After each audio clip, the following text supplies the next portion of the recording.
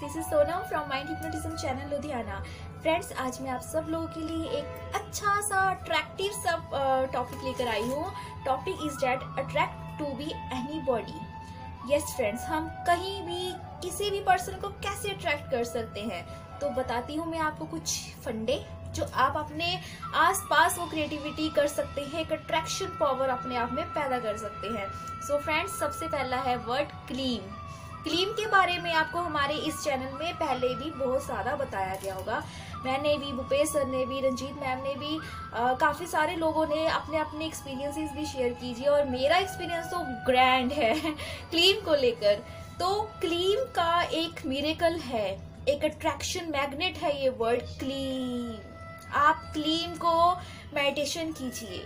आपके अंदर इतनी ज़्यादा अट्रैक्शन पावर ऑटोमेटिकली पैदा हो जाएगी, आपने खुद बिलीव नहीं किया होगा। लेकिन प्रॉब्लम यहाँ आती है फ्रेंड्स हम क्लीन कर रहे हैं, हम मेडिटेशन कर रहे हैं, हमें एक हफ़्ता हो गया, हमें एक महीना हो गया, हम ऐसे कर रहे हैं, हम वैसे कर रहे हैं, लेकिन रिज़ल्ट नहीं आ रहा नो रिज़ल्ट तो फ्रेंड्स ऐसे तो आपको रिज़ल्ट ज़ीरो मिलेगा, लेकिन आपको रिज़ल्ट चाहिए औसम ना कि ज़ीरो तो सबसे पहले आप क्लीन करते हैं मेडिटेशन करते हैं पूरी पॉजिटिविटी के साथ कीजिए विदाउट एनी एक्सपेक्टेशन कीजिए, आपको डेफिनेटली रिज़ल्ट मिलेगा। ये आपको मैंने एक छोटा सा एक मेडिटेशन बताया है, जो लोग मेडिटेशन कर सकते हैं, जो लोग मेडिटेशन करते हैं, वो क्लीन का मेडिटेशन कीजिए, आपके अंदर अट्रैक्शन पावर पावर्स की तरह आएँगी। भंडार आएगा but without any expectation friends कोई एक्सपेक्ट मत कीजिएगा। सेकंड फ्रेंड्स होता है ना, जब हम अपने घर से बाहर निकलते हैं, दिल्ली में, लुधियाना में, कहीं भी ऐसी जगह है जहाँ पे पॉल्यूशन बहुत ज़्यादा है। तो हम कोशिश करते हैं पॉल्यूशन से थोड़ा साइड रहकर हम निकले। यानी कि आज के माहौल में हर इंसान पॉल्यूशन से भरा है। हर इंसान की लाइफ में इतनी सारी प्रॉब्लम्स है, इतनी सारी टेंशन है कि उसको थोड़ा सा रिलीफ चाहिए, इतना सा रिलीफ तो फ्रेंड्स अगर आप अपना और के बारे में आपको पता होगा अगर आप अपना और को बिल्कुल नीट एंड क्लीन रखेंगे उस जो पॉल्यूशन है उससे दूर रखेंगे अपना और को बड़ा रखेंगे अट्रैक्टिव हो जाएँगे। उसके लिए आपको भी ज़्यादा से ज़्यादा मेडिटेशन करना पड़ेगा। ज़रूरी नहीं आप क्लीन ही कीजिए। मेडिटेशन बिल्कुल शा, शांति में बैठकर बिल्कुल शांत मन से कीजिए।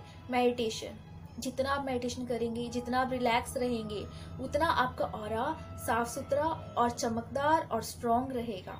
इससे आप किसी को भी अट्रैक्ट कर सकते हैं। नेगेटिविटी अपने आसपास भी मत आने दीजिए।